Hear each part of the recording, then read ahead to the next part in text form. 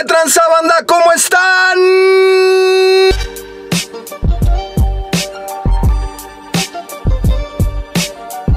Es muy temprano, son las 3.48 de la mañana y se preguntarán, Maja, ¿por qué estamos despiertos tan temprano? Bueno, porque estamos locos y vamos a ir a ver cómo empieza la travesía Maya. Ya les platicaré de qué se trata esto. Vamos a verlo.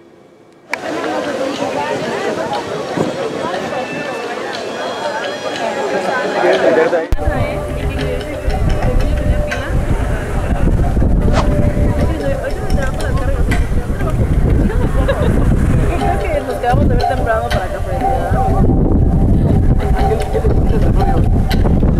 Como les dije, estamos aquí en la travesía Maya. Allá atrás están todas las canoas donde van a salir la gente. Ya está llegando todos los que van a despedir a los canoteros. Yo tenía miedo de que fuera a salir porque, bueno, el clima no es el más hermoso como para salir a navegar, pero se ve que se va a poner bastante bueno. Y el ambiente que se siente es como de, como de paz, muy chido. Ya les estaré contando cómo se pone este rollo. Por este lado atrás tenemos puestos de comida que se alcanzan a ver ahí. Aquí están todos los medios de comunicación, están incluso ahí haciendo una entrevista. Si es que saldremos en la tele. Y nada, les estaré dando todos los pormenores y la experiencia de, de despedir a estos guerreros que se van a rifar. Vaya que sí se van a rifar. Miren, ahí tomándose unas fotos, la familia. Se alcanzan a ver ahí. Los vienen a despedir. Y estamos bastante, bueno, yo estoy bastante emocionado. Nunca me había tocado vivir la experiencia y vamos a ver qué, qué tal se pone este rollo. Miren, quiero, quiero que vean las fotitos de los que van a estar saliendo. Todos están muy emocionados. Por ahí vemos a todos los demás que ya están preparados. Se les ve un poco nerviosos, pero, pero contentos. La música ya desde este momento está poniendo a Dog Agua. Ahí está. Está hermoso el mar, como siempre.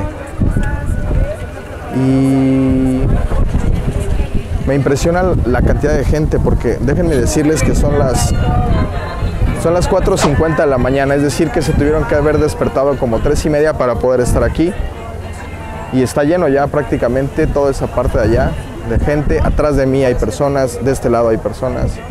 Entonces quiere decir que mucha gente viene a vivir esta experiencia lo cual para mí es muy de madrugada. Yo debería estar acostadito en mi cama, pero estoy aquí por ustedes, ¿verdad?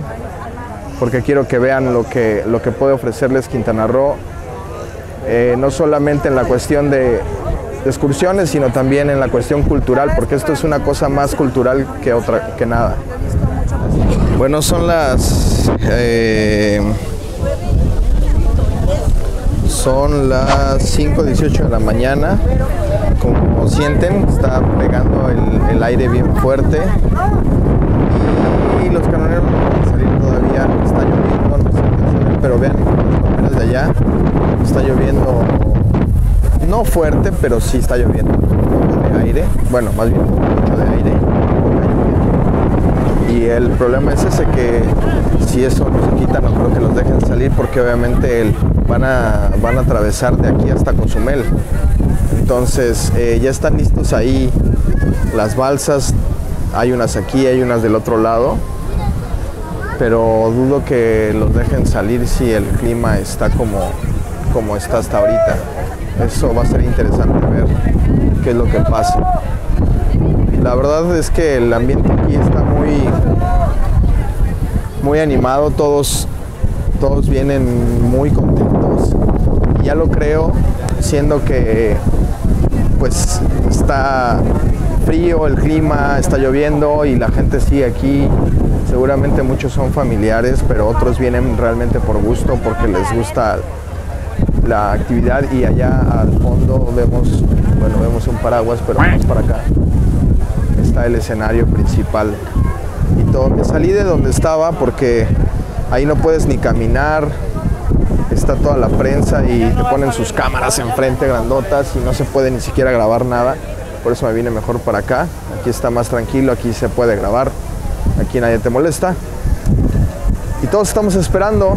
No sé realmente a qué hora está planeado que salgan, pero ya pasó bastante tiempo. Veo que se siguen preparando. Es, están como que todavía checando sus cosas y así.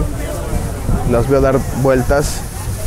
Y no sé, el clima no, no es el mejor. Es lo que me el clima. Miren lo que se alcanza a ver ahí al fondo.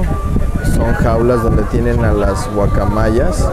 Las van a, las van a sacar justamente ahorita que empiece la inauguración o no sé cómo le digan de la travesía Maya. Las van a sacar. Vean cuántas, cuántas jaulas son. ¿Cuántas alcanzan a contar ustedes?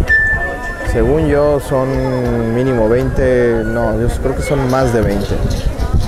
Pero para que vean la importancia que le dan a este evento, los van a dejar salir desde allá. Y obviamente para que vuelen hacia acá. Aquí está como un escenario como que van a hacer alguna cosa, algún ritual maya. Y allá iban a salir hace rato unos niños a bailar, pero ya no salieron, nos regresaron porque estaba lloviendo. Y si se dan cuenta ya está empezando a amanecer. Bueno, si le podemos decir amanecer, pero ya está empezando a salir el sol, ya se ve un poquito menos oscuro. Y en cualquier momento esto va a empezar, se suponía que empezaba a las 5 y media salían, pero ya son las 5.40, por lo que obviamente todavía no empieza. Ya está todo el mundo listo, sigue llegando gente, sigue llegando gente. La gente que no se paró tan temprano como yo, pero siguen llegando muchas personas a ver lo que va a ser el inicio de la travesía Maya 2018. Y bueno, al final no, no van a salir. Como les comentaba, el mar está muy fuerte. Vean, está bastante picado. De hecho, en la mañana, ayer en la tarde nos avisaron que el puerto se iba a cerrar para embarcaciones pequeñas, pero me sorprendió que no, que no dijera nada de, de esto, pero bueno, ya nos avisaron que no, que no van a poder salir. Sin embargo, van a hacer la escenificación de lo que, de lo que hacen en la ceremonia antes de salir, que es lo que estamos viendo ahora.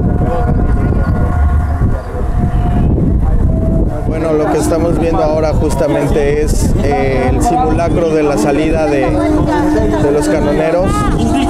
Toda la gente está muy, muy contenta. Está la familia de muchos de ellos. Y están obviamente tomando fotos, animándolos. Todos se sienten muy contentos, se siente el ambiente muy chido. Y son muchísimos. Escuchen el ambiente. Están con todo. No te me vayas, te vas a perder. No te vayas mamá que vayamos a Ahí van a salir. Más allá de la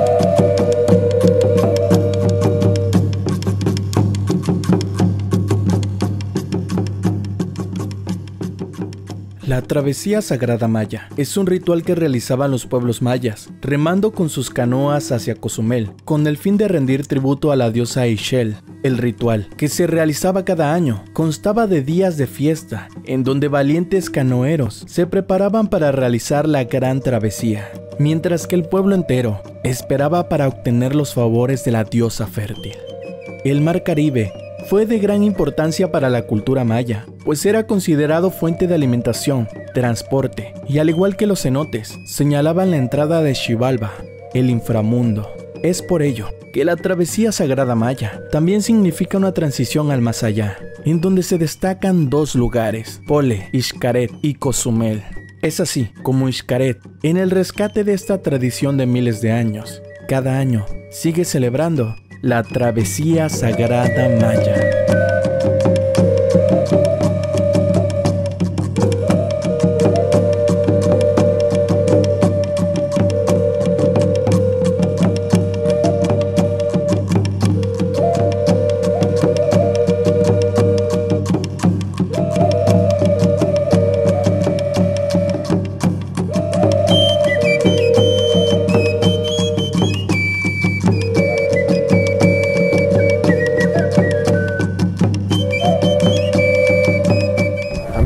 Esto es la travesía sagrada Maya.